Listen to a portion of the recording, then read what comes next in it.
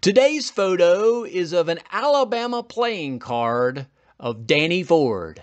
After graduating from Gadsden High School in Gadsden, Alabama in 1966, Ford was an all SEC selection under Paul Bear Bryant at the University of Alabama, where he played in three bowl games. Ford received a bachelor's degree in industrial arts in 1970 and a master's degree in special education in 1971, both from Alabama. Ford coached as an assistant at Alabama and at Virginia Tech before joining Charley Pell's staff at Clemson.